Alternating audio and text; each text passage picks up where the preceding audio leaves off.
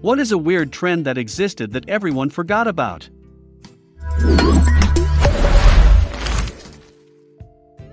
That period in the late 90s and early 2000s where neon inflatable furniture was popular.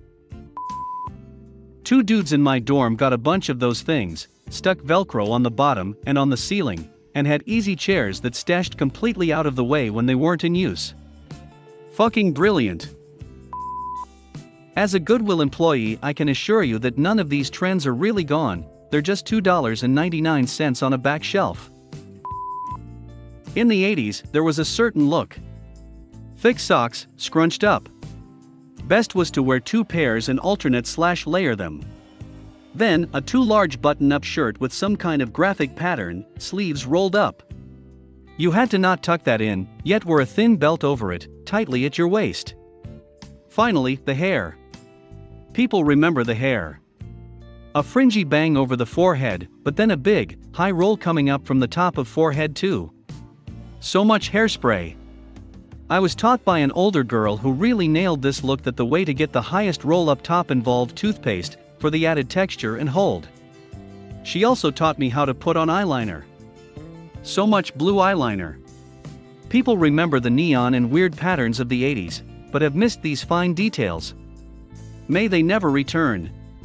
Edited to add, LA Gear high tops and multiple laces were the right shoe for this look. When I was 10 kids at my school, myself included, wore overalls backwards like crisscross. Edit, adjusted age. When I was a kid, early 90s, the kids around my neighborhood were into marbles. Almost everyone I knew had some, and we'd all play each other for trades. Then Pokemon came along. Remember Silly Bandz, everyone wanted character, animal, object shaped rubber bands on their arm, we all traded them for ones we wanted more, and whoever had the most was the coolest. Some kids went as far as wearing them so tight they left marks. Then, after about a year, they dropped off the face of the earth, and no one ever discussed them again. In, like, 1999 or 2000, yo yo's got popular in a big way. A bunch of kids did tricks with them, everyone wanted one, and then it just ended. Everyone seems to remember slap bracelets and pogs from around the same time, but no one remembers the yo yo obsession. Ha, I remember this.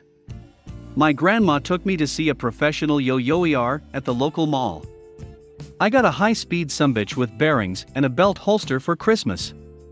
Did not make me as popular as I dreamed it would. Turns out, if a weird kid is good at yo yo tricks, it actually just makes them more weird. Who knew?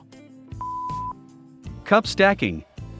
We were literally all encouraged to become expert kids who could stack cups quickly and in the correct formation. Gotta love public school. Trying to get famous hurting ourselves, ALA jackass. Even after the disclaimer was added to the show, we were still going down slides on skateboards, stacking skate decks, and going down massive hills, shopping cart jousting, skitching, blanket parties, BB gun tolerance tests. The list goes on.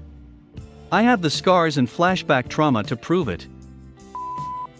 Power balance bracelets they were insanely popular, and it was absolutely insane that they were. Anyone remember hit clips?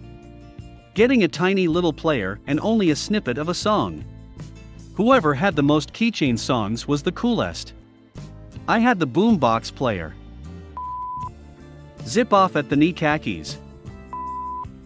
Guilty. They were awesome cause the shorts half had a cargo pocket that you could store the pants half into when it warm. Makes me think of a Steven Universe episode with sour cream wearing these pants. The shirts of a thug version of any character. Like the ones of Bugs Bunny holding a fucking Glock or tatted up Marilyn Monroe. I was not raised in a bad household. Middle class family in a suburb of Toronto. Practically everyone I knew and went to school with would want to wear baggy clothes and act gangster. Buying a six month supply of toilet paper when you only have a three day supply of food in the house. It's still going on to some extent, guys wearing their pants hanging below their ass, exposing their underwear. Can't wrap my mind around why anyone would do that. It's awkward, inconvenient, and looks silly. I am prime age to have been caught up in that trend, but it seemed bizarre and impractical then, and it still does.